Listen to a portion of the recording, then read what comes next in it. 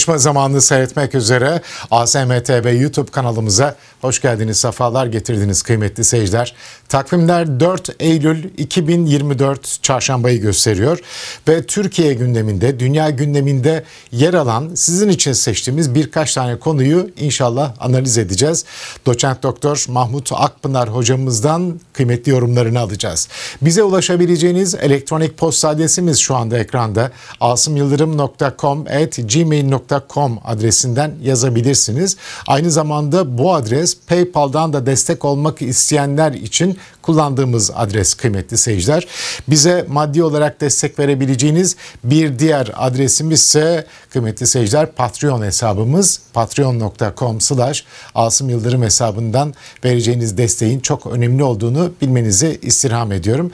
Efendim Mahmut Akpınar hocamızın da YouTube kanalı var. Ee, kendisini takip ederseniz kanalına abone olursanız memnun oluruz. youtube.com slash Mahmut Akpınar ve de hocamızın Patreon hesabı da var. O da şu anda ekranda. Patreon'dan da hocamızı takip eder ve desteklerseniz memnun oluruz.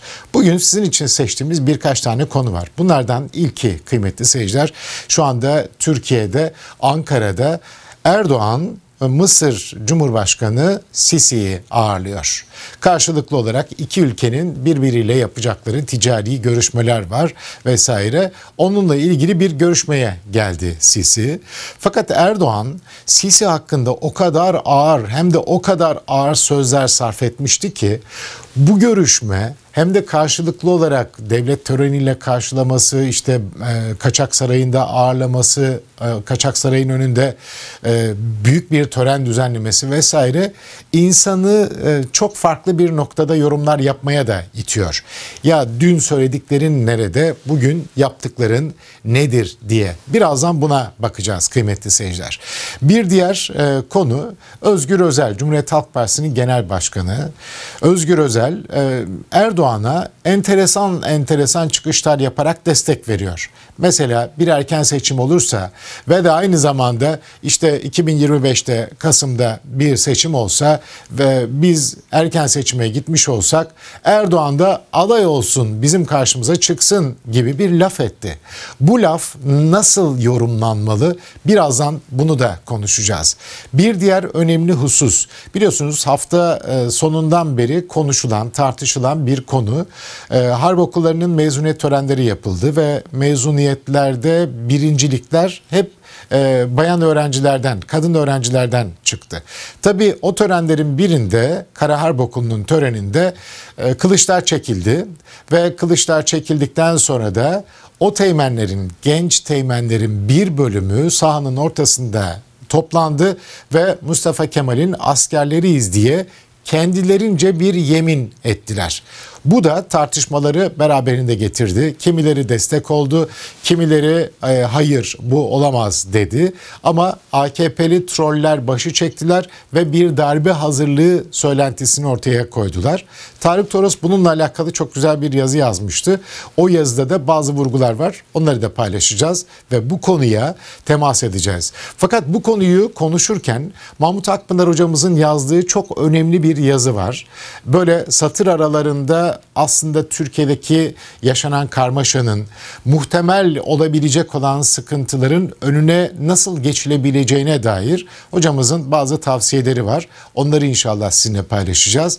Ve son olarak BBC'nin e, gündeme getirdiği müthiş bir habere imza atmışlar. E, BBC'nin gündeme getirdiği özellikle İsrailli kaçak yerleşimcilerin Filistinlilerin topraklarını nasıl işgal ettiği, buraları nasıl ele geçirdikleri, e, oralardaki insanlara, Filistinlilere, toprak sahiplerine nasıl şiddet uyguladıkları ve bunun sonucunda da hangi ülkelerin nasıl tedbirler aldıkları ya da adımlar attıklarına dair dair çok enteresan, çok güzel bir habere imza atmışlar.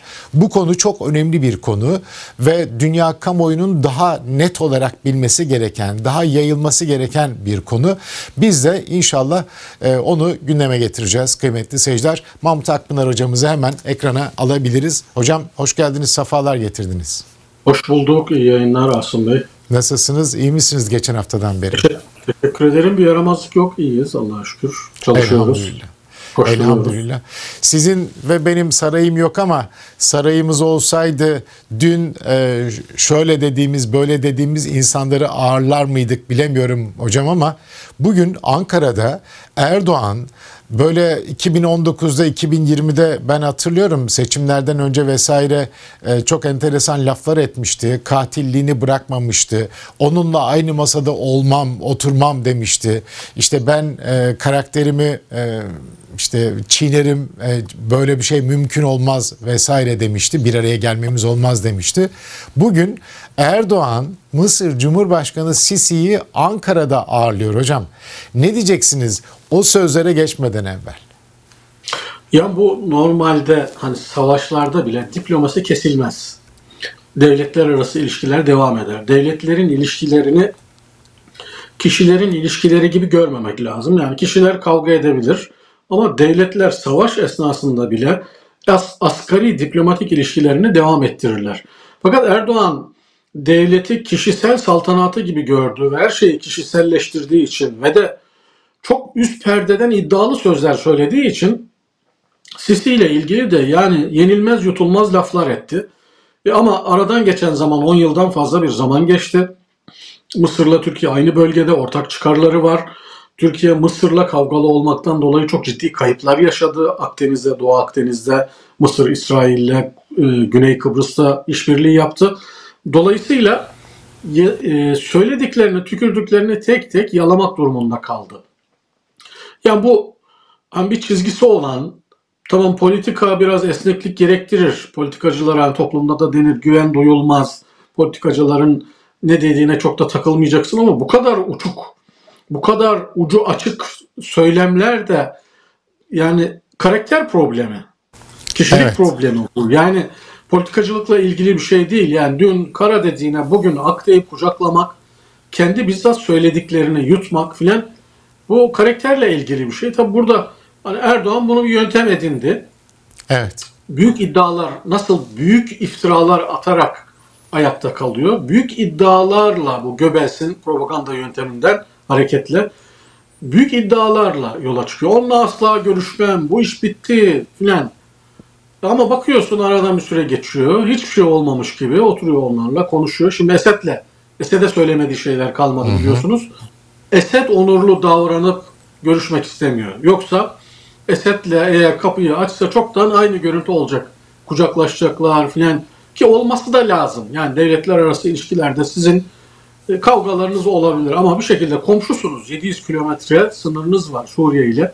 Evet. Büyük problemler var. Birlikte çözmeniz gereken devlet aklı öyle büyük iddialarla kapıları kapatmayı değil, e, diplomatik olarak ilişkileri sürdürmeyi devam ettirir. Ama Erdoğan hani Sera'dan Süreyya'ya bir bakıyorsunuz o uçta, e, bir bakıyorsunuz bu uçta. Yani e, buna herhalde e, kişilik bozukluğu da diyorlar psikiyatride. Yani çok uçlarda gezen, yani Erdoğan'a psikiyatrlar böyle bir tanı koyarlar mı koymazlar mı bilmiyorum ama e, bir gün öbür uçta bir gün öbür uçta olabilen bir politikacı. Ya evet. bu Türkiye Cumhuriyeti adına bir utanç sebebi. Yani Türkiye e, küçük bir devlet değil, sıradan bir devlet değil. Böyle bir devlet başkanlığı hak etmiyor. Yani veya Türk toplumu e, böyle bir devlet başkanına, böyle bir politikacıyı dünyanın güldüğü, pek çoğunun da yüz yüze olmaktan, aynı masada oturmaktan rahatsızlık duyduğu, kaçtığı, onunla karşı karşıya gelirsem e, sıkıntı yaşarım, e, ne yapacağı belli olmaz diye dünya liderlerinin bucak bucak kaçtığı bir adam. Evet. Bu Türkiye için utanç vesilesi. Evet. Erdoğan Sisi ile buluşmadan önce ki ilk buluşması e, hatırlarsınız Dünya Kupası için e, Katar'a gitmişti Erdoğan ve orada ayaküstü de olsa el sıkışmış ve tebessüm etmişlerdi birbirlerine ve Erdoğan o buluşmadan önce ben demişti kendimi inkar ederim. Onunla aynı yerde bulunmam. Benim e, onunla aynı yerde masada oturmam, bulunmam vesaire kendimi inkar etmem olur demişti. Bir de isterseniz 2019 seçimlerinden önce böyle o kadar sert ifadeler kullanmıştı ki belediye seçimleri hatırlarsınız. İstanbul'da seçim e, çalışmaları vardı. Yine konuşuyor Erdoğan ve onların birinde demişti ki pazar günü Sisi mi diyeceğiz yoksa Binali Yıldırım mı diyeceğiz? Buna siz karar vereceksiniz demişti. Yine aynı seçimlerde İstanbul'da darbeyle darbeyle e, karşı özür diliyorum darbeyle başa geçen şu andaki zalim Sisi 50'ye yakın kişiyi idam etmiştir. Batı bu idamlara sessiz kalmıştır. Zalim dedi yani bunu.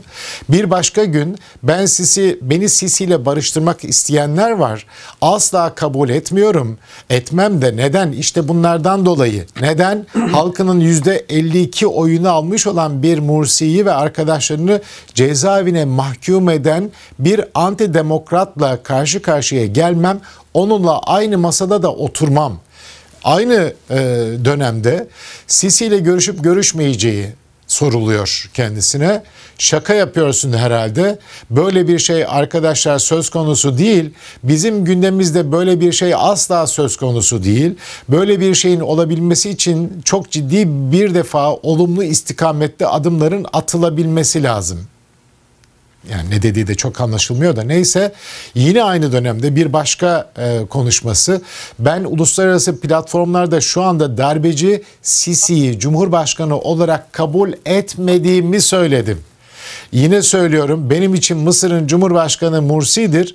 BM'de aynı masaya onunla oturmadım. Oturursam kendimi inkar ederim. Oturursam da demokrat olmam. Tamam Erdoğan demokrat olmadığını bu şekilde o zaman gösterdi. Adam olmadığını da gösterdi. Kendini inkar ettiğini de bu şekilde gösterdi. Ve Erdoğan bugün Mısır Cumhurbaşkanı olarak Sisi'yi Ankara'da Kaçak Sarayı'nda ağırlıyor hocam. Yani Türk siyasi tarihinde bütün liderlerin iyi kötü bir çizgisi vardır. Yani Mustafa Kemal'in bir çizgisi vardır, İnönü'nün bir çizgisi vardır, Menderes'in bir çizgisi vardır. Mesela en esnek olan liderlerden birisi Demirel'dir. Hani dün dündür, bugün bugündür diye bilen bir adam. Ama Erdoğan'la karşılaştırdığınızda Demirel'in bile ciddi bir çizgisi, bir istikrarı var. Yani bu kadar uçlarda gezen bir adam değil. Evet, politikalarında değişiklikler olabilir ama Erdoğan gibi değil. Dolayısıyla hani son 100-150 yıllık birkaç asırlık siyasi tarihimizde bu kadar zikzak yapan, bu kadar Seradan Süreyya'ya uçlarda gezen, farklı politikalar izleyen, kendini reddeden, kendi uygulamalarını reddeden, dün söylediklerinin tam tersini yapan ikinci bir politikacı yok. Ya bu bundan daha kötüsü de şu tabii. Böyle bir politikacıyı toplumun içinde ciddi bir destekleyen kesimin olması. Bu daha acı bir şey. Yani böyle bir politikacı çıkar. Her toplumda çıkabilir. Popülist politikacılar her yerde var görüyoruz. Ama toplumda bir karşılığı olmaz. Toplum ona prim vermez. İşte Türkiye'de bizim e, başımızı öne eğip düşünmemiz gereken şey toplum böyle bir politikacıya neden ve nasıl bu kadar uzun süre prim verebiliyor? Buna kafa yormak lazım. Bunun üzerine durmak lazım. Evet. Hocam Mısır tarafından da ben mesela Sisi'nin yerinde olsam ve Erdoğan o sözleri az önce okuduğumuz sözleri ki başkaları da var. Ben sadece 2019'daki birkaç örneği verdim. O sözleri bana söylemiş olsa ben o adamla kesinlikle bir araya gelmem. Ama siz dediniz ki en başta Tamam kişisel e, sözlerden, hırslardan vesaireden azade olarak devletin kendilerine göre politikaları vardır ve e, bu anlamda adımlar atmak icap eder. Mısır'a baktığımız zaman şu anda Mısır devlet adamlığı politikasıyla e, işte devletin kendi çıkarları doğrultusunda hareket etti diye görüyoruz. Ama Erdoğan bunu yarın nasıl pazarlayacak? O da ayrı bir şey. Siz olsanız o sözler karşısında ziyarete gelir miydiniz mesela? Yani devlet adamı olmak bir defa e, böyle hani çocuk kavgalarında, sokak kavgalarında bile söylenmeyecek böylesi bir dili kullanmaz. Hiçbir devlet adamı. Ortalama devlet adamı. Ha kim kullanabilir? Mesela muhalefette olanlar kullanabilir. Muhalefette marjinal olan partiler kullanabilirler. Ama iktidarda olan, devleti temsil eden, devlet başkanı e, sorumluluğu olan birisi asla bu tür ifadeleri kullanmaz. Temkinli e, konuşur. Hatta devlet başkanları yani bunu işte Ahmet Necdet Sezer gibi bir adamda bile çok gördük. Yani Abdullah Gül bile ona dikkat etti pek çok insan. Devlet adamları bu tür açıklamaları yazılı yapar. Ve kendi Dışişleri Bakanlığı'nın diplomatik görevlilerinin kaleminden çıkmış olarak diplomatik bir üslupla konuşurlar.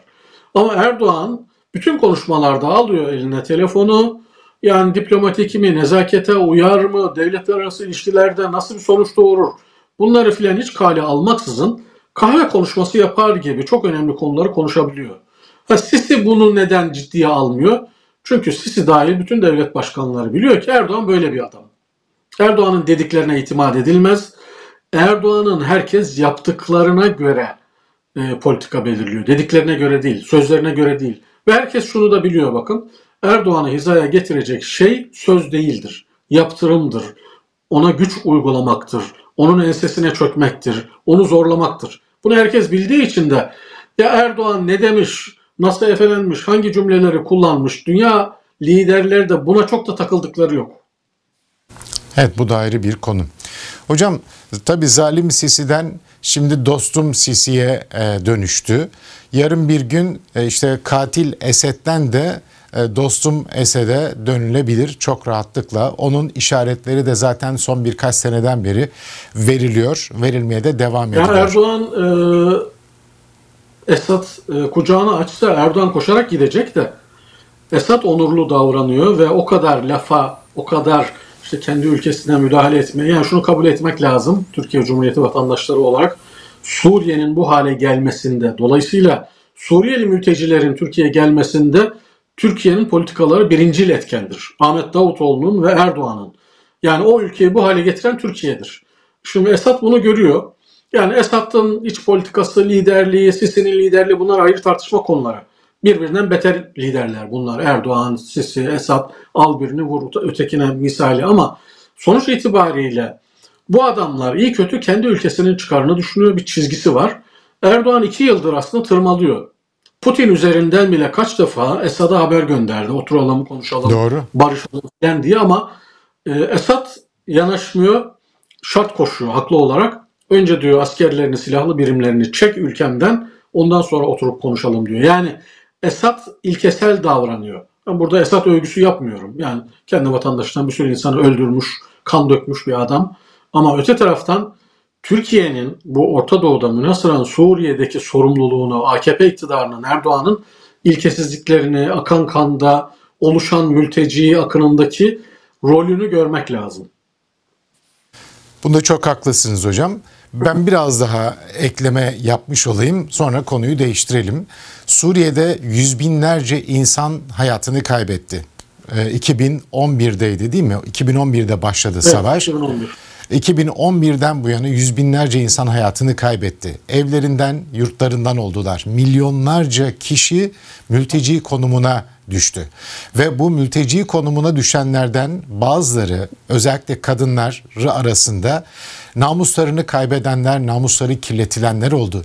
Çocuklar hayatlarını kaybettiler göç yollarında, Ege'de, Akdeniz'de e, ne yazık ki can verdiler. Gittikleri ülkelerde dinlerini kaybeden aileler var, çocuklar var. İslam'dan uzaklaşan aileler var.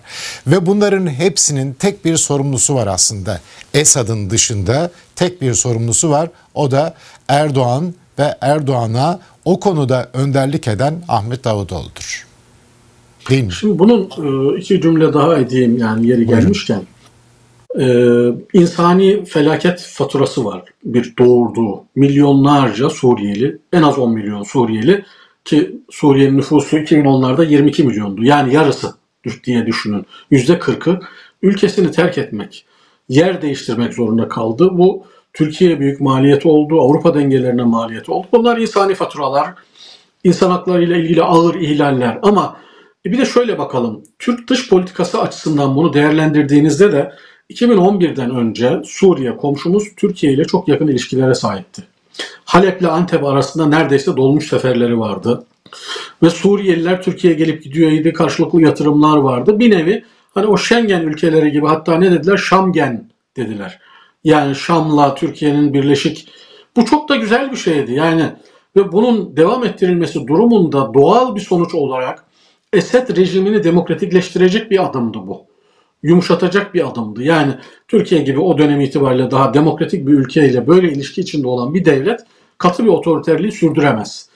Ee, kazanımları vardı. Peki gelinen noktada yani Davutoğlu'nun ve Erdoğan'ın Emeviye Camii'nde namaz kılacağız diyerek bir macera girmelerinden sonra ne oldu? Suriye tamamen kaybedildi. Bugün Suriye İran'ın bir üssü. Tamamen tarihte ilk defa 500 yıl sonra, 1000 yıl sonra İran Suriye üzerinde e, hegemonya kurdu ve bugün Suriye'de İran'ın askerleri var içeride. E, bir yönüyle Esed'i rehin almış durumdalar. Öte taraftan Su, Rusya açısından düşün. Rusya Akdeniz'de üs kurdu, askeri üs. Suriye'nin hava kontrolünü Ruslar sağlıyorlar. Ayrıca deniz üssü kurdu e, ve Putin'in izni olmaksızın Esed bile e, Türkiye ile anlaşma yapamaz, yumuşatamaz bir kısım adımlar atamaz. Yani siz bu adımı atarak Türkiye Cumhuriyeti Putin'i Akdeniz'e indirmiş oldu. Komşunuz olan dibinizdeki bir ülkenin tepesine vasi, hami ilan etti. Tarihi bir rekabetiniz, bölgesel rekabetiniz olan İran'ı getirdiniz. Esed'in üzerinde bir hami, bir vasi haline getirdiniz.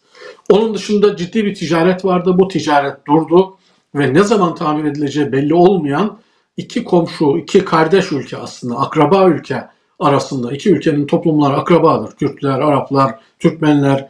E, kan soktunuz. E bu kimin işine yaradı? Ya sadece bölgedeki bir kısım güçlü devletleri bertaraf etmek isteyen aslında İsrail'in işine yaradı. Yani İsrail'in tarihte savaştığı bir kısım devletleri bertaraf etme politikası var. Batı gücüyle, Batı eliyle. E, Suriye gibi güçlü bir kara gücü olan, e, kara gücü açısından Suriye, Irak bunlar ikisi de önemli güçlerdi. Her ikisini de bertaraf etmiş oldu Türkiye. Birini Körfez Savaşı'yla, öbürünü Erdoğan üzerinden. Yani sonuç itibariyle bakarsanız Erdoğan, İsrail'in bölgede komşusu ve ona tehdit olan bir güç olan Suriye'yi Erdoğan üzerinden bertaraf edilmiş oldu. Meseleye bir de böyle bakın. Hani BOP eş başkanıyız ya. Evet. BOP eş başkanlığının bir sonucu olarak bölgede İsrail'in güvenliği açısından ona komşu, onunla en yakın ilişkileri olan, en uzun sınırları olan ve doğrudan en yakın teması olan. Mesela İran'la İsrail'in arasında uçurum var ama hı hı. Suriye komşu ve çok yakınlar. Golan Tepeleri var arada. Tarihte savaşmışlar. İsrail'in bölgedeki önemli bir düşmanı bertaraf edilmiş, etkisizleştirilmiş oldu. Davutoğlu ve Erdoğan eliyle. İslamcı bir iktidar eliyle. Bu da meselenin farklı bir boyutu. Evet. Bu meseleye bakış açınız da çok önemliydi. Bunu ayrıca vermek lazım. Erdoğan'ın kimin yaptığı işlerin ya da yürüttüğü politikaların kimin işine yaradığını, bölgede özellikle kime yaradığını şu son cümleleriniz çok önemliydi. İzah yani ayrıca da Suriye'nin popülasyonunu bozdu bu. Ne yaptı Hı-hı. Esed? Ya Esed rejimi Suriye'de bir azınlık iktidardır aslında. Ee, Esed ve onun ailesi olan Rafizi bir ailenin devletin bütün noktalarını kontrol etmesi. Ee, bu göçler de aslında Esed ve ailesinin o ülke üzerindeki hakimiyetini perçinledi. Nüfus dengelerini de değiştirdi. Göçen insanlar kimler? Esad muhalifleri. Evet. Yani dindar Sünni, insanlar, Sünni, Sünni insanlar filan. Dolayısıyla hani Suriye'yi daha fazla e, Rafizi nüfusun kontrolüne sokmuş oldu. Oradaki dengeleri bozdu. Kaldı ki e, oğul Esad bu mezhep davası güden birisi değildi. Batı'da eğitim gördüğünden dolayı ve Sünni, Şii vesaire Rafizi farkı gözetmek için daha çoğulcu bir Suriye yapısı kurma yolundaydı. İşte e, öldürülen e, Ramazan el-Buti gibi adamlar en yakın danışmanıydı. Bu savaşın çıkmasına engel olan, hatırlayın Erdoğan'a da mektup gönderen, bunu yapmayın böyle etmeyin diyen. Mesela o tür insanları da kenara ettiler. Dolayısıyla bir yönüyle de Esad'ı daha fazla mezhepçi olmaya, mezhepçi politikalar izlemeye itti ve e, Suriye'yi mezhep odaklı bir ülke haline getirdi. Evet Esad'ın da şeklini değiştirdi, karakterini değiştirdi Tabii. bu hadiseler. Hocam hazır bu noktaya gelmişken hani biz akrabayız dediniz ya gerçekten de milyonlarca insanımızın Suriye'de akrabası var. Suriyelilerin de Türkiye'de akrabası vardı. Şimdi yüz binlerce, milyonlarca Suriyeli Türkiye'ye gelmiş oldu. Bazıları Türkiye vatandaşı oldu. Ya akrabalıktan öte Suriye ve Irak Türklerin, Türkmenlerin Türkiye'den önceki vatanıdır.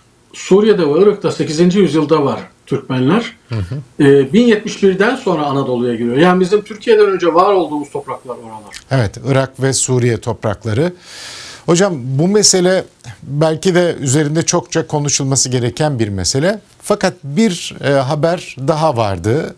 O da Rudava düştü.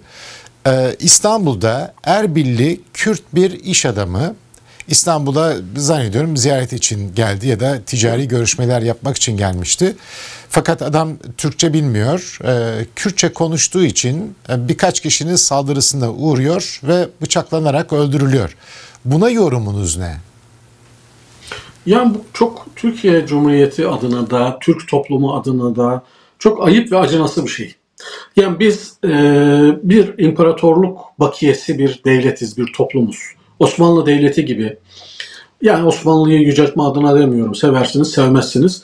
E, 1923'e kadar Türkiye'nin bütün büyük şehirlerinde yani İzmir'den, Bursa'dan, Diyarbakır'dan, Mardin'den, Edirne'den, İstanbul'dan tutun hepsinde sokaklarında onlarca dilin konuşulduğu, onlarca etnik unsurun birlikte yan yana komşuluk yaptığı bir kültürün mirasçısıyız biz.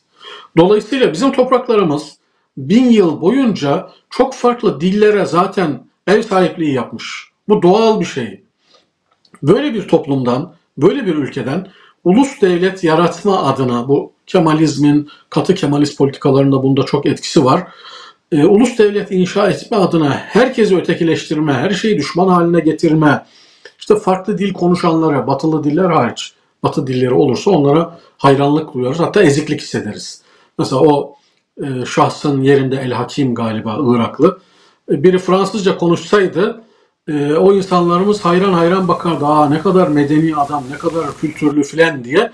Ama Kürtçe konuştuğu için e, farklı bakıyorlar. Arapça konuşsaydı da şöyle bakacaklardı. Bunun parasını nasıl yolarız? Filan orada da bir ayrı saygısızlık var.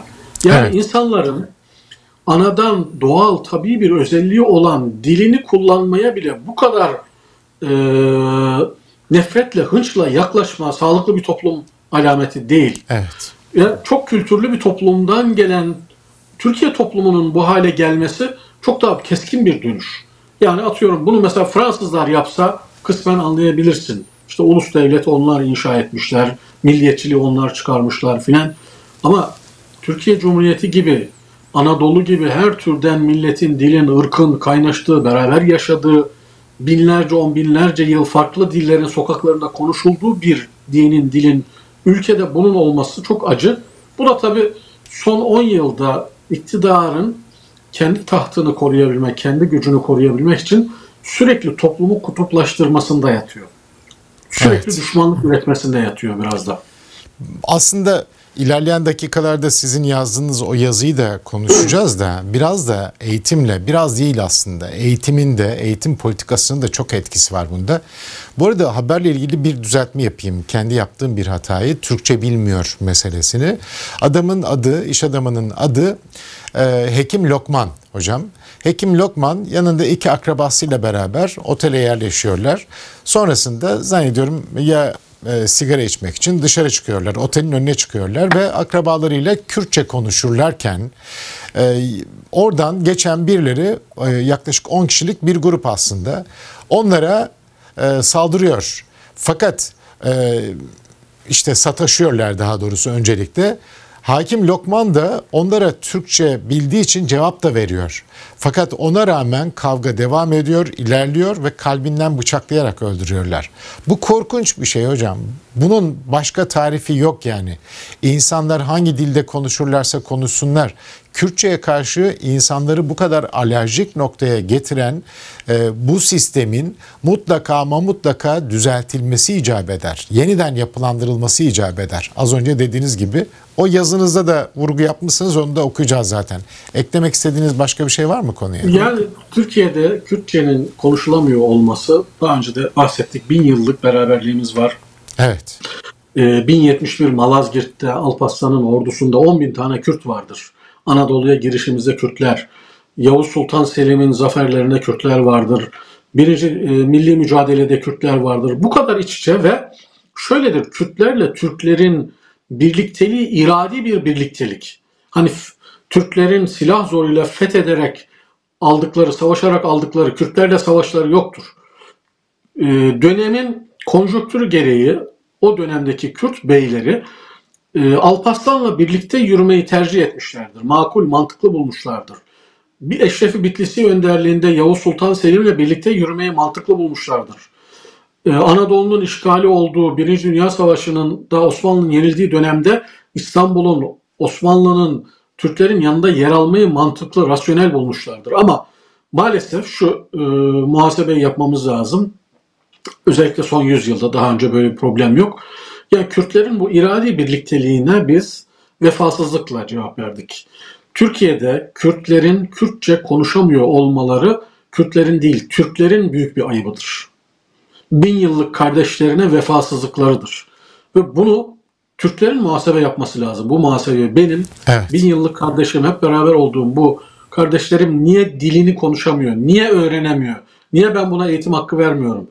Kürtçenin önünü açmanız Türkçeyi bitirmez. Böyle bir korku yayıyorlar. Hayır. Türkçeyi de güçlendirir. Yani hem Kürtçe konuşsun hem Türkçe.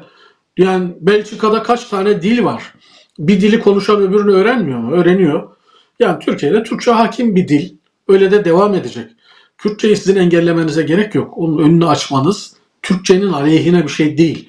Bilakis onları bu ülkeye daha bağlı hale getirir. Daha aidiyet hissini güçlendirecek bir şey Tabii. şey ama Tabii. benim görebildiğim son yıllarda milliyetçi politikalarla bunu en çok da MHP zaten bir ülkeyi bölecekse milliyetçiler, Türkçüler böler.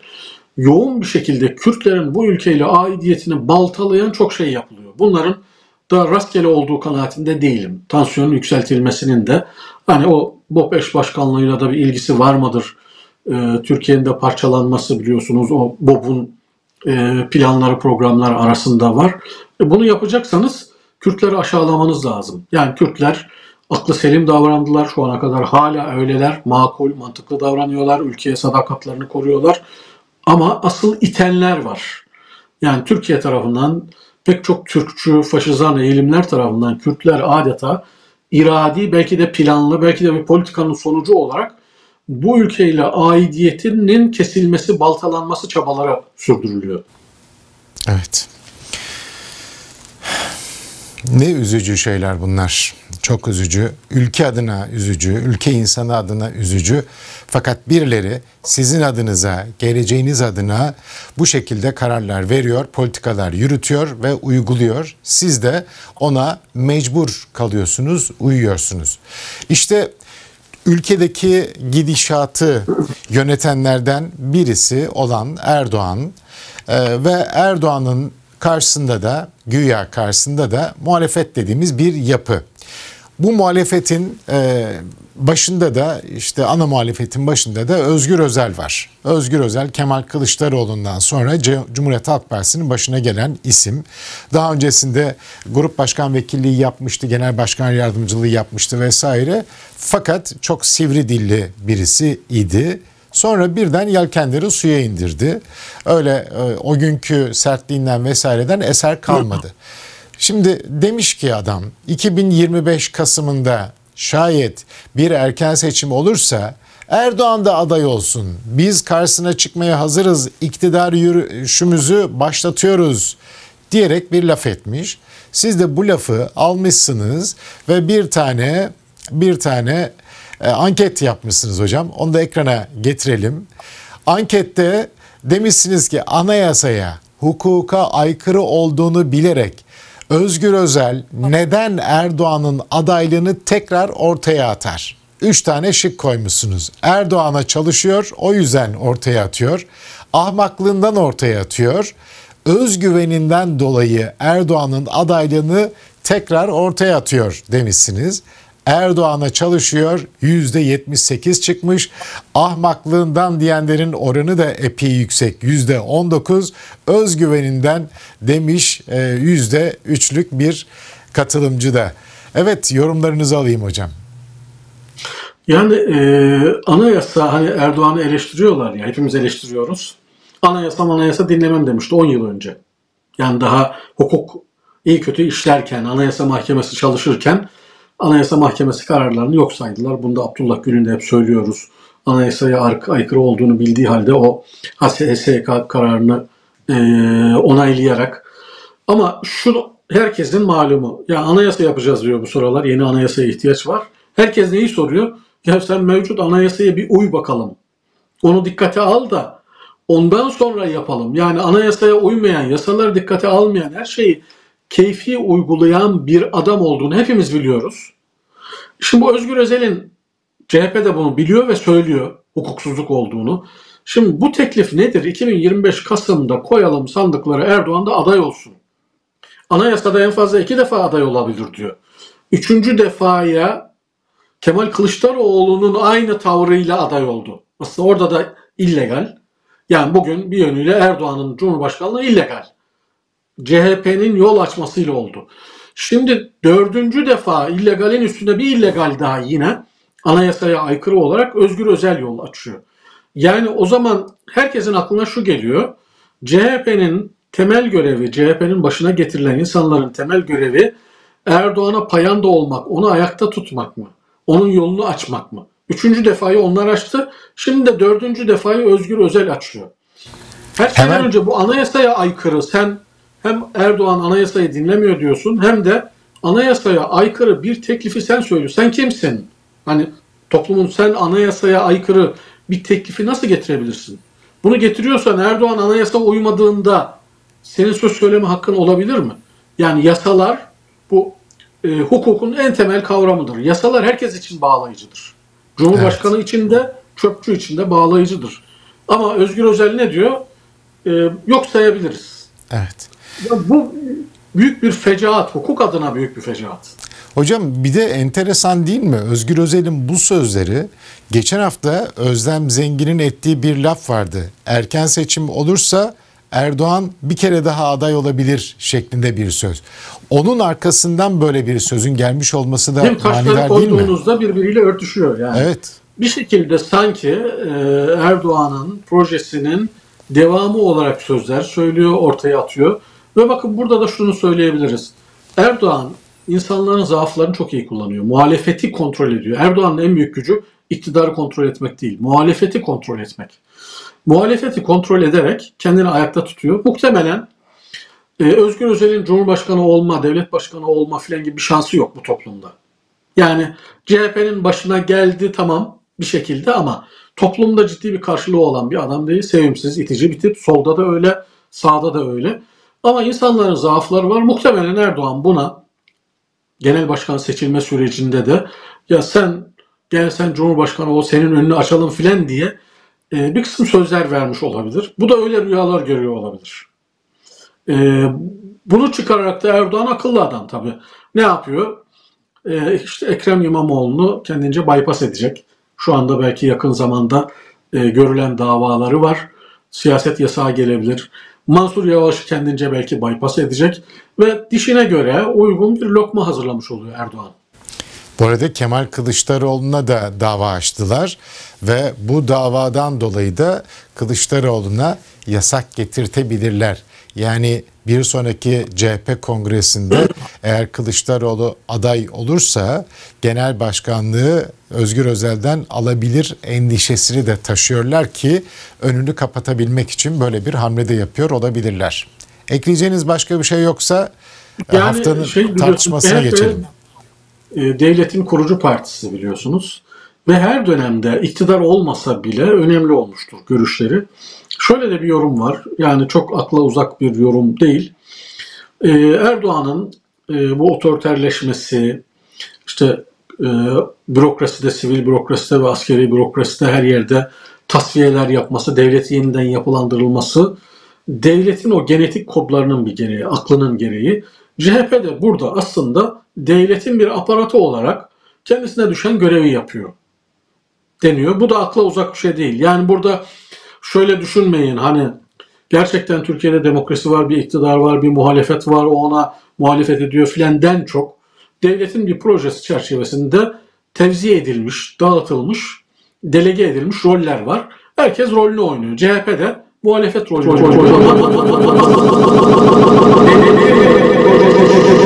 derin devletin, devletin ne diyecekseniz Türkiye Cumhuriyeti'nin hangi noktaya çekilmek istiyorsa CHP'nin meşrulaştırmasıyla o proje işliyor diye de bir yorum var. Ben de çok bence çok akla uzak bir yorum değil. Evet. Son derece makul ve mantıklı bir yorummuş o da. Hocam hafta sonunda mezuniyet törenleri vardı. Kara Harp Okulu'nda, Hava Harp Okulu'nda Hı. ve değil mi deniz kuvvetlerindeydi ya da jandarmada evet. mıydı? Deniz. Evet, evet deniz, kara ve e, havanın harp okullarının birincileri belli oldu.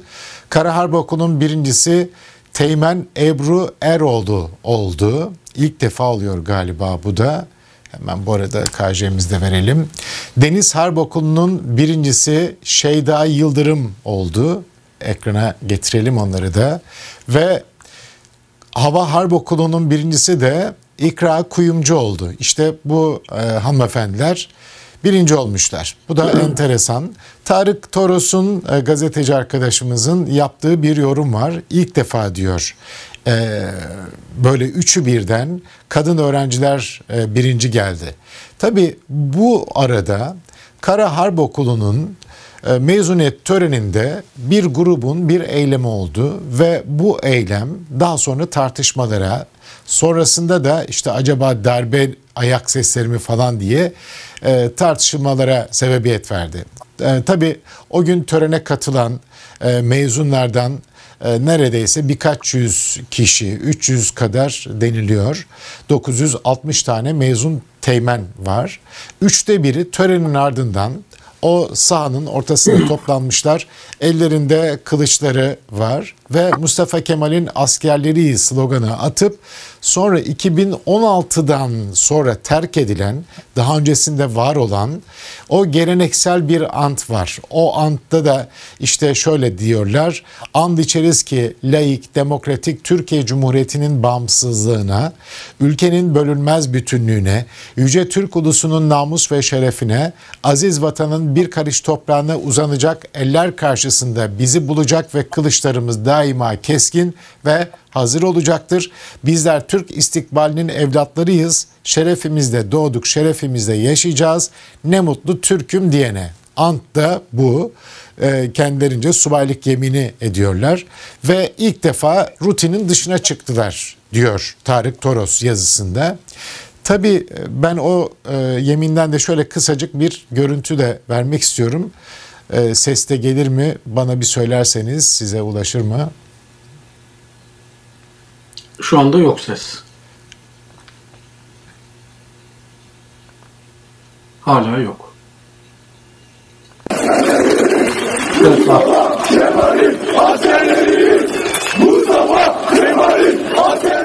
Bu sloganlardan sonra Kara Harp Okulu'nun birincisi olan kadın öğrenci ortaya geldi gördüğünüz gibi ve elinde kılıcıyla arkadaşlarına önderlik etti ve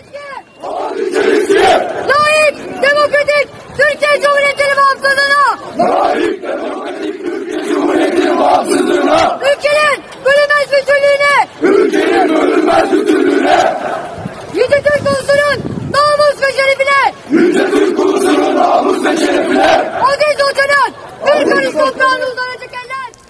Hocam böyle bir yemin ettiler. Bu da tartışmalara sebebiyet verdi. Tarık Toros yazısında devamla enteresan da bir vurgu yapıyor. Diyor ki Kara Assubay Meslek Yüksek Okulu'nda korsan bir eylem daha oldu. Mezun olan bir grup assubay okullarının önünde bu sefer Göktürk bayrağıyla poz verdiler. Bu da son dönemde iyice e, böyle yaygınlaşmaya başlayan Göktürk bayrağı kullanarak ama Doğu Türkistan'daki meselelere hiç e, girmezler onlar. Bizler Mustafa Kemal'in çocuklarıyız, sizler neyin çocuklarısınız bizi çok alakadar etmez diye e, böyle bir poz vermişler. Enteresan bir şekilde. Arkasından diyor ki Tarık Toros geçen hafta diş hekimliği kongresinde bir üniversite öğrencisine başı örtülü olduğu gerekçesiyle görev verilmediği ortaya çıkmıştı. Peşinden de vesayet devam ediyor tartışmaları e, çıktı. E, ve Özgür Özel'in, MHP'nin bu kılıç çeken öğrencilere verdiği destek var. Bir de Erdoğan'ın daha sonrasında yapmış olduğu bir açıklama var. Hepimiz aynı gemideyiz demiş Erdoğan. Biz geçmişte de doğru yerdeydik diyen Özgür Özel'e cevap vermiş. Milletimin iç e, cephemizi sarsmaya yönelik provokasyonlar karşısında teyakkuz halinde olmasını özellikle rica ediyorum. 85 milyon olarak hepimiz aynı gemideyiz, aynı geminin yolcularıyız buyurmuş Erdoğan'ımız. Evet hocam bu mesele sizce tartışıldığı gibi darbenin ön sesleri, ayak sesleri falan olarak yorumlanabilir mi, algılanabilir mi? Bir de bu tartışmalara bağlı olarak son dönemde sosyal medyada mutlaka görmüşsünüzdür. Bazı hesaplar üzerinden Türkiye'de iç kargaşa çıkarılacağına dair bununla ilgili olarak da Erdoğan tarafı, Ergenekon tarafı hazırlıklarını yapıyorlar şeklinde söylentiler e, çıkarılarak bir iç savaş zemini oluşturmaya çalışıyor insanlar birileri diyorlar. Ne diyorsunuz? Hem o sosyal medyada yayılan e, algıyla hem de bu askerler acaba bir şeyler mi yapmak istiyorlar algısıyla ilgili olarak. Ya iç savaş çıkarma e, iddiası bence hafife alınacak bir şey değil. İç savaş nasıl çıkar bir toplumda? Gergin toplumlarda çıkar. Ayrıştırılmış toplumlarda çıkar. Açlığın, fakirliğin olduğu, insanların ötekine düşman olduğu. Yani Kürtçe konuşanın bıçaklandığı bir toplumda çıkar. Burada e, benim hep aklımın ucunda şu vardır yıllardır. Erdoğan son misyonunu ne zaman tamamlayacak? Yani BOP eş başkanı olarak Türkiye'nin bölünmesi böyle bir misyonu e, olduğu ifade ediliyor. Bunu biliyorsun Abdurrahman Dilipak'tan e, emekli asker olan açıklamalar yapan isim aklıma her defasında gelmiyor. Onlar açıkladılar. Yani Türkiye'nin Erdoğan gitmeden bir şekilde bu BOP çerçevesinde parçalanmasına da bir e, yol açabileceği gibi bir şey benim kafamda her zaman var ve tansiyonun artması, Türkiye'nin kutuplaştırılması buna hizmet edecek bir şey. Ama daha yüzeysel yani görünen itibariyle bunu bilemeyiz. Sen bu bir spekülasyon. Fakat baktığımızda Türkiye'de darbe bir darbe ortamı yok. Erdoğan her yeri ve her şeyi net kontrol ediyor şu anda tek başına. TSK'nın içinde evet Ergenekoncu ulusalcı damarlar var. Ama Erdoğan bunları da sık sık biçerek toparlanamaz hale geldi. Onların önlerini kesti ve tamamen kendisine tabi, biat eden hatta çok kirli. Yani öyle komutanlar var ki belki 5000 yıllık denir hani Türk ordusu. 5000 yıllık Türk ordusunun en yüz kızartıcı adamları ordunun başında komutanlar olarak görev yapıyor. Uyuşturucu ticareti yapanlar, kadın pazarlığı yapanlar, affedersiniz homoseksüel ilişkilerde kendi askerini kullananlar duymuşsunuzdur. Böylesine askerler Türk ordusunun başında üst düzey komutanlar. Ha savcılar, yargıçlar farklı mı? Onlar da işte uyuşturucu baronluğu yapıyor. Polisi çantacı olarak kullanıyor filan. Yani bürokrasinin en kirli olduğu dönemdeyiz ama hani Türk devletleri içinde ordu omurga olduğu söylenir. Ordunun milletin öncüsü olduğunu, devletin öncüsü olduğu filan söylenir. Zannederim eğer hani Mete'den beri öyle tezler var Türkçülerin daha çok kullandığı. 5000 yıllık Türk ordusunda zannederim en kirli, en liyakatsız, e, en başarısız insanların komutan olduğu bir dönemi yaşıyoruz. Dolayısıyla Erdoğan'a karşı ordunun içinde ben bir darbe iddiasını ciddiye alacak al, e, almak gerektiğini düşünmüyorum. Ama şu son olaylar şunu gösteriyor. Yani darbe iddiasından bağımsız sosyolojik bir gelişme var. Onu görmek lazım. İslamcı iktidarın bu kirlenmişliği, yozlaşmışlığı, hukuksuzluğu, kötü yönetimi nedeniyle ve iki yüzlülüğü nedeniyle yani e, söylemde başka, eylemde başka olmaları, toplumu yozlaştırmaları nedeniyle ona reaksiyon olarak yani İslamcıların iki yüzlüğüne reaksiyon olarak toplumda ve münhasıran gençlerde bir Mustafa Kemal hayranlığının arttığını, Kemalizme eğilimin arttığını bir sosyolojik tespit olarak ortaya koymak lazım. Bunu datalar, verilerde destekliyor zaten. Böyle bir ta- taban var. Bu yazı da bunun üzerine zaten. Peki son bu olaylar yani harp okulu öğrencilerinin çıkışları gerçek olabilir mi? Olabilir de. Gerçekten harp okulunun içinde Kemalist bir kısım çocuklar olabilir ama bu da çok akla yakın değil. Çünkü Erdoğan Türkiye'nin askeri okullar sistemini yüzyıllardır devam eden tamamen tahrip etti ve tamamen politik, kendisine göre seçebildiği, liyakatı yok saydığı askeri okullara giriş sınavları yaptı. Mülakatlarla bunları aldı ve 10 yıldır, 12 yıldır Erdoğan askeri okulların hepsine giren öğrencileri bizzat kendisi seçiyor. Ve bakın hani bu tezi doğrulayan şeylerden birisi de şu. Normalde Kemalistlerin çocuklarında daha modern isimler bulursunuz. Buradaki üç tane kızımızın üçünün birden harp okullarında birinci olmaları tuhaf bir defa. Yani askerlik mesleği gibi fiziksel e, kapasitede isteyen bir alanda üç kızın deniz, kara, e, hava üçünde birinci olmaları bir tuhaflık burada var. Ayrıca bu kız çocukların isimlerine baktığında Ebru, Şeyda, İkra bunlar Kemalist veya ortalama seküler ailelerin koyacağı isimler değil. Yani bir e, şüphelenmemize sebep olacak bir durum var ortada.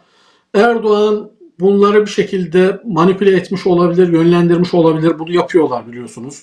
Yani özel propaganda bakanlığı var. E, Hitler'in e, propaganda bakanlığına benzer bir şekilde toplumun algısıyla nasıl oynarız, ne yaparsak nasıl etkileriz diye buna kafa yor, mühendislik yapıyorlar. Toplum mühendisliği yapıyorlar. Dolayısıyla böyle bir sıkıntı var. Bu çocukları kullanmış olabilirler. Böylece iki şey yapmış olurlar. Bu çok yararlı, mantıklı bir hareket. Erdoğan siyaset açısından. Hangi noktada? Bir, e, Kemalistlerin gazını alıyorsunuz. Pek çok Kemalist bundan sonra rahatladılar. O dediler bakın harp okullarından yeni bir nesil geliyor. Geleceğimiz güvence altında. Bunları devireceğiz. Rahatladılar. Onları bir gevşetti. İki, Erdoğan'ın en temel beslenme kaynağı nedir? Darbe geliyor. İşte Kemalistler yine darbe yapacak, ordu darbe yapacak ve bizim şu ana kadar getirdiğimiz hakları alacak, camiler kapatılacak, Kur'an okuma yasaklanacak. Bununla kendi kitlesini, kendi insanlarını yanında tutuyor. Böyle bir e, kare vermiş oldu. Yani muhafazakar ve dindar kesime ekonomik sebeplerle kendinden vazgeçme eğiliminde olan dindar kesimlere de bu olay üzerinden bakın benden vazgeçerseniz, benden uzaklaşırsanız işte darbe geliyor diye buradan da bir meşruiyet kazanmış oldu. Dolayısıyla bu olay aslında Erdoğan açısından bir sosyal mühendislik olarak düşünürseniz çok mantıklı. Ben buradan yazıya dönüp şunu demek istiyorum. Yani bunların altında şöyle bir şey var. Hani Türkiye'de şu an olması gereken şey nedir? Hani toplumun bu kadar acıdan, bu kadar hukuksuzluktan, bu kadar zulümden, ekonomik çöküntüden, kurumsal çöküntüden sonra yani 150 e, yıllık parlamento geçmişi olan, iyi kötü bir demokrasisi olan, hukuk işleyişi olan Türk toplumunun demokrasi özleminin artmasını beklersiniz. Hukuka dönme özleminin, adalete dönme özleminin artmasını beklersiniz. Ama bunun yerine bu da var elbette. Bunda da bir artış var da dipten böyle bir kemalist eğilimin geldiğini görüyoruz. Bunun da sebebi Türkiye Cumhuriyeti'nde AKP iktidarı da devam ederken hala Kemalist endoktrinasyonun yani Kemalist ideolojinin anaokulundan itibaren çocuklara her adımda, her safhada sürekli işlenmesinin, tek adam ve kurtarıcı profilinin bir lider olarak sürekli idealize edilmesinin çok önemli etkisinin olduğunu düşünüyorum. Ve Erdoğan buna dokunmadı. Hiç dokunmadı. Dokunmamasının sebebi ne olabilir? Bir, Ergenekoncularla 10 yıldır ortak olmasından dolayı onlar dokundurtmamış olabilir. İki, Kemalistlerden de Mustafa Kemal'i seven insanlardan merkez sağa yakın, ulusalcı, milliyetçi kesimlerden hem Mustafa Kemal'i sevip hem Erdoğan'ı seven de ciddi bir kesim var. Erdoğan'a oy veren. Bunları küstürmek, kızdırmak istemiyor olabilir veya başka ajandaları olabilir ama ben meseleyi şurada görüyorum. Ben bir İmam olarak da bu konuda çok muhasebe yaptım ve geldiğim nokta kuru bir Atatürk Mustafa Kemal düşmanlığı yapmak değil. Bunun doğru olmadığını düşünüyorum. Ama 100 e, yıldır Cumhuriyet boyunca sürekli bir tek adam ve onun idealize edildiği bir eğitim sistemi yanlış nesiller üretti. E, hep tek adamlara hayranlık duyan, onları kurtarıcı olarak gören e, insanlar yetiştirdi, toplum kesimleri yetiştirdi. Sadece askeri okullarda değil, normal okullarda da. Çünkü biz anaokulundan itibaren her yerde Mustafa Kemal'in heykellerini, fotoğraflarını meydanlarda gördük, sınıflarda gördük, okulda gördük. Söylemleri tekrar edildi, resmi bayramlarda oldu. Yani sevenin de sevmeyenin de. Bakın nefret eden, Mustafa Kemal'den nefret edende de bu eğitim sebebiyle tek adamın kutsanması var. Sevende de var, nefret edende de var. Kürtlerde de var, milliyetçilerde de var. İşte milliyetçilerde başbu, reis filan şeklinde cereyan ediyor. Kürtlerde apo, biji apo şeklinde cereyan ediyor. Dindarlarda ne bileyim imam, halife, işte reis, e, şeyhülislam her neyse böyle cereyan ediyor. Bu eğitim sistemi e, geleceğin Türkiye'si açısından ve birlikte yaşamayı temin etme açısından çok sıkıntılı. Şunu demiyorum yani Mustafa Kemal'e küfür edilsin, hakaret edilsin ama Mustafa Kemal bir kişi üzerine bir ideoloji olmaz, bir eğitim sistemi olmaz. Bu akla zarar bir şey. Bunun tarihe emanet edilmesi lazım, bilim adamlarına emanet edilmesi lazım. Bırakalım yine Mustafa Kemal'e sövmek suç olsun. Çok orasında değilim. Ama bu ideolojinin hala 21. yüzyılda ana sınıfından itibaren tek kişiye dayalı bu idealize e, sistemin idealize edilmesi e, hasarlı, problemli ürünler veriyor. Hepimizin zihninde Mustafa Kemal'i seven sevmeyen tortular bırakıyor. Tek adam hayranlığı oluşturuyor ve sonra herkes kendi tek adamını doğurmaya çalışıyor. Bu sonuca nereden vardım? Sonuca biraz da hani tarih, sosyoloji, siyaset bilimi kıyaslamalarının, analizlerinin ötesinde kendi çocuklarımdan vardım. Burada en küçük çocuğum benim burada yetişti. İlkokul 3'te geldi ve burada British Values diye, British değerleri diye çocuklara şeyler öğretiyorlar. Ne bunlar? Tamamen ahlaki değerler. Dürüst olmak, kurallara uymak ve onun yanında demokratik değerler. Etik ahlaki değerler, çoğulculuk, işte discrimination'ın ne kadar kötü olduğu, insanların renginden, dilinden dolayı ayrıştırmanın bunlar üzerinde duruluyor. Ve şimdi ben bu çocuğumda diğer çocuklarıma nazaran net olarak daha demokratik tavırlar görüyorum. Ve buradan şunu çıkarıyorum. Diyorum ki yani bir ülkenin eğitim sistemi nesilleri şekillendiriyor. Kemalist ideolojik eğitim sistemi AKP döneminde de devam etti. Aynen hala devam ediyor. Bu eğitim sistemiyle bizim demokrasi ve hukuku işletecek nesiller üretmemiz mümkün değil. Ve burada da Mustafa Kemal ile ilgili bir şey dediğinizde hemen savunmaya geçiyor Kemalistler, Atatürkçüler. Ama bu sağlıklı bir şey değil. Bunu aklı başına Atatürkçüler de görüyorlar. Hani Kemalistler demiyorum. Kemalizmi sistem, ideoloji haline getirenlere laf anlatmak zor. Ama buradan hani bir çağrı ne kadar ulaşır, kime ulaşır bilmiyorum. Gerçekten Atatürk'ü seven ama Türkiye'nin de e, aynen o kız çocuklarının e, teğmenlerin yeminde olduğu gibi ne diyor? Laik demokratik hukuk devleti. Bakın laiklik de korunsun. Bir imatipli olarak. Laiklik ama Frankofon laiklik değil. Anglo-Sakson laiklik. Yani her dinin, inancın kendi varlığını sürdürebildiği bir laiklik bence İslam'a da uygun olan bir şey. Leküm diniküm veliye dinle de örtüşen bir şey. Laiklik korunsun ama hukuk devleti ve demokrasi bunlar sürdürülsün. Ve buradaki ironi de şu, elinde kılıçla demokrasiyi savunuyor şimdi askeri öğrenciler. Bu da bir ironi. Demokrasiyi savunması gereken askerler midir? Laik demokratik hukuk devleti anayasamızda yazdığı gibi korunmalı ama bunu korumaya en önemli engellerden birisi şu an her bir çocuğa 5 yaşından itibaren verdiğimiz e, Kemalist endoktrinasyon. AKP döneminde de devam eden bu endoktrinasyon bizde çoğulcu, demokratik, hukuka saygılı bir bireyler üretmiyor. Tek adam ideali ya Erdoğan gibi ya Mustafa Kemal gibi ya Apo gibi ya Türkeş gibi neyse kendine kurtarıcı bir e, ideal edilmiş nesiller üretiyor ve bununla demokrasiye varamıyoruz. Bu eğitim sisteminden dönmemiz gerekiyor. Bunu revize etmek. Evet. Atatürk dönemini, Mustafa Kemal dönemini tarihçilere, bilim adamlarına emanet edip daha rasyonel, daha çoğulcu, daha birlikte yaşamaya müsait, hoşgörülü, daha modern, demokratik bir eğitim sistemi inşa etmemiz lazım. Bu Kemalist eğitim sisteminin tortuları maalesef hepimizin zihninde bilerek veya bilmeyerek, sevenin de sevmeyenin de tek adam figürünü besliyor. Tek adam hayranlığı oluşturuyor. Hocam şu anda dediğiniz şu anda yapılmaya başlansa en az 30, 30 yıllık yıl. evet en az 30 yıllık bir süreç demek ve Türkiye'nin geleceğinin şekillendirilebilmesi için çok geç kalınmış olan adımlar bunlar.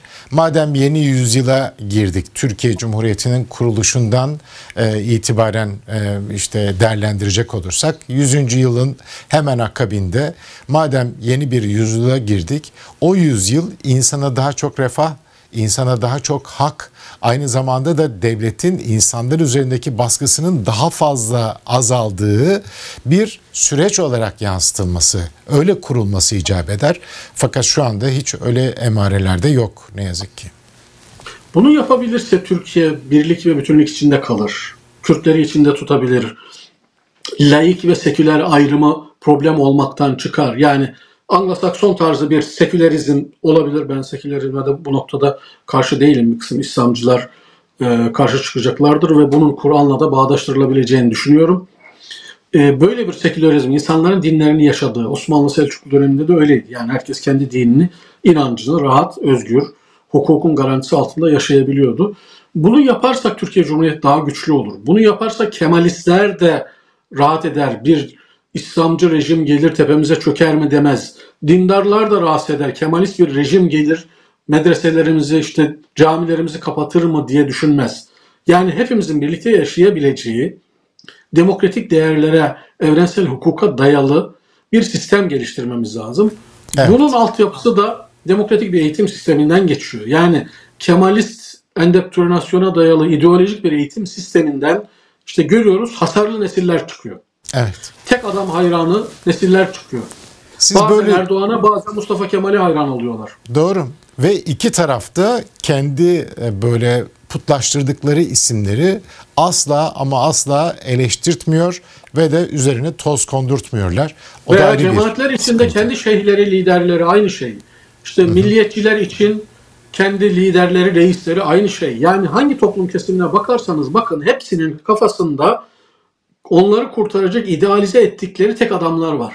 Ve ilginç olan şeylerden birisi de şey, ne biliyor musunuz? En demokratik olanlar bile kendi lideri için yasaların ve anayasanın delinmesini mübah görüyor. Mesela Mustafa Kemal'in tek adam döneminde anayasa var, yasalar var ama hiç takmamış. Hiç kimse bunu gündeme getirmiyor. Erdoğan aynı hakkı veriyor AKP'liler. Diyor devletin güvenliği işte şunun için bunun için Erdoğan anayasayı yok sayabilir. Yasaları yok sayabilir. Şimdi siz ders kitaplarınızda sürekli kurtarıcı, yüce bir kişiyi idealize eder, sorgusuz, sualsiz her gücü ona verir, ondan her şeyi beklerseniz o zaman kafanızda onun anayasa ve yasa dinlememesini de meşrulaştırırsınız. Dün nasıl Mustafa Kemal'in anayasayı yok saymasına Kemalistler hiç problem etmezler. E bugün de Erdoğancılar, Erdoğan ister Erdoğan'ın anayasayı, yasaları yok saymasını problem etmiyorlar. Niye? Çünkü hepimiz aynı eğitim aldık. Erdoğanistler de aynı eğitim aldı. Doğru. Cemaatler de aynı eğitim aldı. Yani bizim kafamızda çocukluktan, bebeklikten beri kurtarıcı, e, olağanüstü, insanüstü güçlere sahip bir lider profili var. Bu idealize edildi bize hep. Evet. Hocam e, yaklaşık bir saat iki dakika e, oldu ve son konumuza geldik. Son konumuz da çok önemli bir konu. BBC'nin gündeme getirmiş olduğu çok ama çok önemli bir e, haber bu. Ee, tabii siz meseleyi yıllardan beri takip eden, bölgede olanları takip eden birisi olarak bu meseleyi de biliyorsunuz aslında ama yaklaşık 50-60 seneden beri, belki de 100 seneden beri devam eden bir 1917'den proje. beri. Evet, devam eden bir proje bu aslında. e, fakat bu kadar geniş çaplı olduğunu ben ilk defa bu haberden öğrendim açıkça söyleyeyim. Bu kadar geniş çaplı olduğunu. Bir de ilk defa ispatlı bir şekilde İsrailli e, kaçak yerleşimcilerin kurdukları karakollar oluşturmuşlar. Bu karakollar Filistin topraklarından bahsediyorum. Bu karakollar etraflarındaki bütün alanları gasp etmişler tabir yerindeyse. E, fakat bu karakollar İsrail devletinin bir karakolu değil. Bu karakollar kaçak İsrailli yerleşimcilerin kendilerince oluşturdukları tedhiş gruplarının oluşturdukları karakollar. Ve bu karakollar işte e, gidiyor adam herhangi birinin malına göz dikiyor, arazisine göz dikiyor, oraya gidiyor. Başına silahı dayıyor ve burayı terk edeceksiniz diyor. Aynen böyle oluyor yani. Yıllardan beri demek ki böyle yapıyorlar e, bunlar. Yani Filistinliler parayla topraklarını satıyorlar e, diye hep e, lanse etmişlerdi ya, anlatmışlardı ya. Belki de işin aslı faslı burada düğümleniyor. Mesela Filistinli bir e, büyük anne diyor haberde. Ayşe Aştiye bir adamın 50 yıldan beri yaşadığı evine girip kafasına silah dayadığını ve toprağını terk etmesini istediğini söylüyor. Tabi kadın ayrılmak zorunda kalıyor oradan. Fakat şu ana kadar bu şekilde karakol kurulan, karakolun etrafında da yepyeni yerleşim alanları oluşturulan, binalar inşa edilen 196 tane ileri karakol tespit edilmiş ve bu karakolların çoğu e, çoğu değil tamamı İsrail destekli kuruluşlar e, tarafından finanse ediliyor hem arazi hem de inşaat masrafları onlar tarafından destekleniyor. Fakat şu ana kadar e, bu kurulan karakollar ve karakolların etrafındaki yerleşim alanlarıyla alakalı olarak da İsrail kaynakları e, bazılarını resmiyete dökmüş. Şimdi BBC bir de harita yapmış hocam. Mutlaka siz gördünüz, seyircilerimizle o yüzden paylaşmakta fayda var. Şimdi diyor ki Batı Şeria'da 19 e, Batı Şeria'da 196 yasa dışı yerleşimci karakolu. 2019 öncesine e, göre karakollar şu şekilde deniliyor. Ben KJ'yi alayım. Biraz daha büyüteyim e, fotoğrafı. Daha doğrusu resmi, haritayı. Şimdi diyor ki 2019 öncesi karakollar kırmızıyla gösteriliyor. Sonrasında olanlar da siyah noktalarla gösteriliyor. Bakın 2012'de ki rakamları göstereceğiz. E, şu anda sol tarafta ekranın sol tarafında ben bu arada masumun nerede olduğunu bulamadığım için heh, görüntüyü şimdi biraz daha büyütüyorum. E, bakın sol tarafta gördüğünüz gibi hemen hemen hiç siyah nokta yok. Sağ taraf 2016 birkaç tane oluşmuş. Bakın şurada var, burada var, Aşağı inelim. 2020'de rakamlar gördüğünüz gibi siyah noktaların sayısı artmış ve günümüze geldiğimizdeki rakamlar bunlar. Karakollar bunlar. Şimdi bunlar e, ne anlama geliyor? Sizden e, anlatmanızı istirham edeceğim. Bir de enteresan bir şekilde tabii bu dünya kamuoyu tarafından da çok bilinmiyor. Türkiye'nin böyle bir gündemi bile yok yani. Mesela e, İngilizler, İngiltere Dışişleri Bakanlığı raporda görüldüğü üzere diyor, yerleşimcilerin Filistin toplumuna yönelik benzeri görülmemiş düzeydeki şiddetini şiddetle kınıyoruz. İsrail yetkililerini cezasızlık kültürüne son vermeye ve sorumluları cezalandırmaya çağırıyoruz. Ve sadece bununla da kalmıyor. Amerika Birleşik Devletleri bu türden karakol kuranlardan bazılarını yaptırım uyguluyor. Kanada'nın almış olduğu kararlar var. Mesela e, daha belirgin e, olan iki tane uydu görüntüsü var. Daha doğrusu birkaç tane uydu görüntüsü var. İzniniz olursa onları da vereyim. Sevgili seyircilerimiz görsünler. Moşe Şarvit yerleşimindeki karakol. Mayıs 2021'de bakın kıymetli seyirciler hiçbir şey yok. Soldaki araziden bahsediyorum. 2024 Haziran'ında bakın nasıl yerleşim birimleri kurulmuş oraya. Bakın Medsat yerleşimindeki karakol. Sol tarafta hiçbir şey yok. Şubat 2020'de e, çekilmiş bu uydu fotoğrafı ve Temmuz 2024'te aldığı şekil bu. Ve 2020 Nisan'ında Şima yerleşimindeki karakol bomboş bir kırsal arazi. Temmuz 24'te ise gördüğünüz gibi kurulan yerler şu anda gözüküyor. Şimdi e, enteresan bir detay daha var haberde. Diyor ki bu kurulan karakolların sadece kuruldukları bölgelere bina yapılmıyor.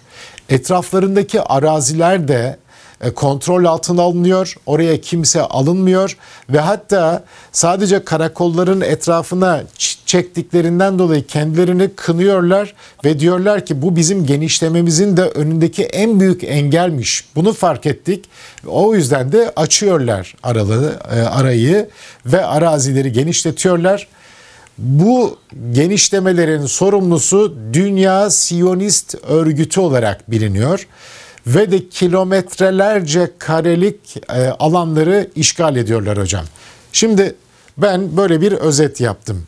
Ne diyorsunuz? İsrail'in kurdurduğu, bizzat kurdurduğu, arkasında durduğu, devletin kaynaklarıyla, kamu kaynaklarıyla finanse ettiği bu yerleşimciler, korsan yerleşimciler e, resmen e, şey salıyorlar, korku salıyorlar. Şu ana kadar bunlar 10 kadar Filistinliyi öldürmüşler, e, katletmişler ve de şu ana kadar onların arasında hiçbir tanesi cezalandırılmamış. Bu da ayrı bir konu. E, Filistinliler de onların arasından zannediyorum 4 kişiyi öldürmüşler e, kendilerine karşı geldikleri için vesaire. Almanya'nın da verdiği bir açıklama var. Diyor ki Amanna diye bir e, e, kurum var. O Amanna şu anda Birleşmiş Milletler tarafından da yasa dışı ilan edilmiş. Almanya'nın vermiş olduğu, yapmış olduğu bir açıklama var. E, Amana onunla yerleşimciyle bir anlaşma yaparak tarım çiftliğini kurması için ona 81 bin dolar kredi verdi. Bundan böyle çiftlik kredisi olarak anılacak. Daha sonra onunla ikinci bir anlaşma yapılacak. Çiftlikte seralar kurması için ona 270 bin dolar kredi verdi. Yani oraları, o toprakları da tamamen sahiplenmiş oluyorlar. Buyurun ben sustum hocam. Yani bu dediğiniz tabi İsrail'in 100 yıldır uyguladığı bir politika. Arz-ı mevut yani ilk Siyonist Kongresi 1895'te İsviçre'de Basel şehrinde yapıldığında Theodor Herzl Siyonizmin babası kabul edilir. Siyonistler bu arada zannedildiği gibi dindar Yahudiler değildir. Dindar Yahudiler daha uzlaşımcıdır. Hani o sakallı, geleneksel Yahudileri görüyoruz ya. Onlar gerçekten dindar, Yahudiliğini yaşamak isteyen. Şöyle de düşünebilirsiniz. Siyasal İslamcılarla müminler gibi. Yahudilerin de siyasal İslamcıları Siyonistlerdir ve dindar filan değillerdir. Ama o arzu mevutta bir devlet kurmayı çoğu sekülerdir yani arzu eden ırkçı, faşizan, aşırı sağ, Yahudi üstünlükçü filan yani bir örgüttür. Theodor Herzl o zaman diyor ya 50 yıl içinde İsrail'de diyor devletin kurulmuş olduğunu göreceksiniz diyor. Dediği gibi de o vefat ediyor, ölüyor ama İsrail devleti kuruluyor. Bir yönüyle İsrail ta başından 1917'den bir yönüyle de 1895'ten itibaren o bölgede toprak satın almaya, Yahudi nüfusu oraya göç ettirmeye teşvik ediyor. Ta o dönemde Theodor Herzl döneminde Kudüs ve civarında o bölgede Yahudilerin toprak satın alabilmesi için fonlar kurduruluyor. Yahudi finans adamları oluşturuluyor ve bir kısım köylü Yahudilere o paralar veriliyor. Git şuradan toprak al oraya yerleş. Dolayısıyla bu sizin karakol dediğiniz şey aslında İsrail devletinin kurulmasından önce oraya yerleşen, toprak satın alan Yahudileri korumak üzere kurulan illegal yapılar, silahlı yapılar. Ee, 1948'de İsrail devleti kurulana kadar o bölgedeki Yahudi yerleşimi nasıl genişledi? Tam da terör örgütü olarak kabul edilen illegal silahlı grupların korumasında oldu. Yani Siyonist örgütler fonlar oluşturuyor, paralar topluyorlar. Münasıran Rusya gibi fakir ülkelerden çiftçiler, tarımla uğraşan Yahudiler zenginleri götürmüyorlar. Çok getiriliyor. Onlara toprak satın alınıyor o fonlarla. Sonra onları e, 1948'e kadar çok fazla terör estiren ve dünyada da terör örgütü kabul edilen o örgütlerin koruması altında oluyor. Şöyle düşünün. Ergenekon gibi düşünün. Sadat gibi düşünün. Legal değil, devletle doğrudan bağı yok ama bir şekilde finanse ediliyor silahlı örgütleri var ve oradaki insanları koruyorlar. Sadece koruma değil, o insanlar lehine oradaki Arap yerleşimcileri yerinden ediyor, korkutuyor, hanelerine tecavüz ediyor, insanlarını öldürüyor, mahsullerini yakıyor. Yani bu BBC'nin verdiği bu haber 100 yıldan fazladır İsrail topraklarında olan bir şey. İsrail kurulmadan önce bunu bir kısım terör örgütleri yapıyordu. Neydi mesela Hagana çetesi, İrgun çetesi, Stern çetesi gibi ve İsrail'in devlet başkanlarının çoğu bu terör örgütlerinden yetişip devlet başkanı olmuştur. Netanyahu'nun da bu örgütlerin içinde görev almışlığı vardır. Akrabalarının, yakınlarının. Dolayısıyla hani bu bir yüzyılı aşkın bir yöntem. İngilizlerin kanamasına da tebessüm etmek gerekiyor. Çünkü bu yolu açan İngilizlerdir ilk. Evet. İngiltere'dir, Batılılardır. 1917 Balfour Deklarasyonu'yla o coğrafyaya Yahudi göçlerini resmileştiren o dönemin İngiltere Dışişleri Bakanı'dır. Bunu meşru hale getiren ve o ana kadar Osmanlı döneminde bu engellenmeye çalışılıyor idi bir şekilde. O İngiliz işgalinden sonra, bölgeyi İngilizler işgal ettikten sonra kitleler halinde Yahudiler göçmeye başladı. O Yahudileri koruyacak silahlı çeteler oluşturuldu. O karakol dediğiniz şey o. Ama İsrail kurulduktan sonra bu politika devam ediyor. Bahsini ettiğimiz yer Westbank. Neresi? Batı Şeria. İsrailli Arap vatandaşların yaşadığı yerler. Yani o tarlaları talan edilen insanlar İsrail vatandaşı. Normalde İsrail hukukuna göre İsrail devletinin onları koruması lazım ama Siyonist politikalar gereği ne yapıyorlar? Oradaki Arapları kaçırma, yerinden etme politikası uyguluyorlar. Silahla korkutuyorlar ve bunun arkasında da işte Amana dediğimiz güya sivil bir örgüt var. Siyonistlerin desteklediği, silahlandırdığı filan. E, bu devam ediyor. Yani ilk Gazze olayı patladıktan sonra 7 Ekim'den sonra yaptığımız e, yayında hatırlarsanız bunların amacının Gazze'yi de Filistin'in geri kalanı gibi Müslümansızlaştırmak, o toprakları almak ve Yahudi yerleşimcilere açmak diye söylemiştik. Şu anda bunun Gazze'de Yahudi yerleşimcileri nasıl yerleştiririzin yoğun planları yapılıyor İsrail tarafından. Ve baklava dilimi gibi bölecekler. Ee, tamamen İsrail'in kontrolünde yollar yapacaklar. Münhasıran daha sonra da oralara küçük küçük karakollar, yerleşimciler koyacaklar, onları koruyacaklar. Yani devlet bunu ordusuyla yapmıyor. İllegal silahlandırılmış gruplarla oradaki yerleşik sivil halkı, Araplara, Müslümanları canından bezdirerek kaçmaya veya topraklarını satmaya zorluyor. Ya bu haberde o bu yüzyılın bir sorunu, yeni bir sorun değil ee, ve İsrail'in geleneksel bir politikası. Mevcut olanları kaçırma, onların yerine kendi Yahudilerini, yerleşimcileri yerleştirme, evet. onlara toprak verme ve dolayısıyla zaman içinde o İsrail'in tamamını Müslümansızlaştırma, topraktan arındırma, kaçmaya zorlama. BBC'nin yapmış olduğu bu önemli gazetecilik. Bunu e, neden önemsediğimi vurgulamak istiyorum bir kere daha. İlk defa birileriyle konuşmuşlar. İlk defa birilerini konuşturmuşlar ve de o evinden e, zorla çıkarıldığını iddia eden e, Ayşe Nine'nin evine gitmişler hocam beraberce. O kadını da alarak e, evine gitmişler. Kadın evine girdiğinde şok yaşamış. Hiçbir şey kullanılır halde kalmamış. Ve de onlar oraya gider gitmez o araziyi işgal edenler Moshe Sharvit diye birisi e, var. E, Moshe Sharvit ve adamları ellerinde silahlarıyla gelmişler ve orayı terk etmeleri gerektiğini söylemişler ve kendisinin de o şahıs olmadığını söylemişler. Yani ilk defa böyle ispatlı bir şey olduğu için ve bu da e, İngiltere e, medyasına da yansıdığı için önemli buldum açıkçası. E, bu mesele bu nasıl çözülür? Şey de ama e, İsrail hani bir demokratik hukuk devletidir. Bu tarafında teslim etmek lazım. Siyonist politikaları şu anda Netanyahu ile birlikte uygulasa da hukukun Orta Doğu'da yine en iyi işlediği bir e, devlettir ama söz konusu Müslümanlar olunca aynen bizdeki Ergenekon'un işte bir kısım kiliseleri basıp öldürmesi, istemediği insanlara kaçırması, asit kuyularına atması gibi düşünün. Yani devletle bağlantılı, o Siyonist derin devletle bağlantılı evet. bu tür devlet tarafından korunan çeteler var. Bu çeteler o genişlemeyi yapıyor. Bu aslında dünyanın problemi herkes biliyor. Yani e, o coğrafyadaki yerleşimcileri yerinden etme, haklarını gasp etme. İsrail'in 1948'den beri ondan önce de oradaki çetelerin, e, Yahudi çetelerin yaptığı bir e, evet. e, eylemdir. Evet. İnşallah bu acılar sona erer. Hocam ağzınıza sağlık. Ben kapanışı e, Embrace Relief var.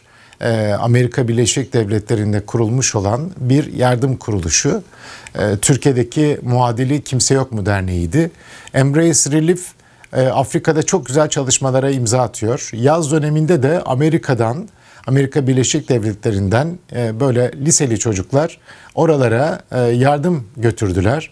Onlardan böyle bir kolaj yapmışlar. Bir tane de şarkı yapmışlar ve e, YouTube kanallarına koymuşlar. Embrace Relief'in YouTube kanalına abone değilseniz hocam sizin de abone olmanızı istiyoruz. E, e, ve beğenin. Orada çok güzel videolar da var. Onları paylaşacağım. Noktayı öyle koyacağız. E, söyleyeceğiniz başka bir şey yoksa veda edebiliriz. Teşekkür ederim. Umarım bir pot kırmamışız, yanlış yapmamışızdır. Teşekkür ederiz. Dinlediğiniz İnşallah için. faydalı olmuştur. Hocam teşekkürler. Görüşmek üzere inşallah.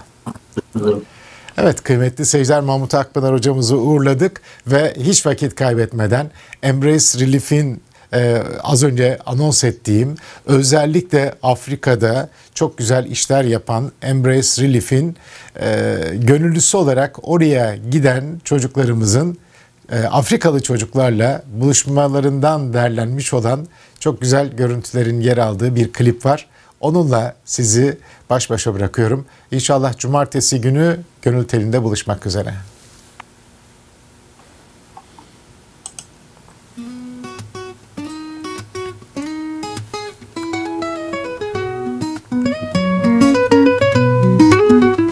Uzak diyarlarda bir ev uzanır Gönüller birleşir, umutlar canlanır. Afrika'nın toprağında bir ritim doğar? Yardım elleri dans eder, yürekler coşar. Dans et, dans et, ritmiyle. Kalpler bir olsun sevgiyle. Afrika'nın güneşi tepemizde Dostluk şarkıları dilimizde. Gülümsemeler çiçek açar çöllerde. Yardımlaşma ruhu dans eder ellerde. Birlikte atar her kalp aynı anda. Umut yeşerir Afrika'nın her yanında. Dans et, dans et, umut ritmiyle sevgiyle Afrika'nın güneşi tepemizde. Dostluk şarkıları dilimizde. Farklı diller, farklı renkler. Ama aynı ritimde atan yürekler. İnsanlık dansı bu sınır tanımaz. Sevgiyle birleşen eller hiç ayrılmaz Dans et, dans et, umut ritmiyle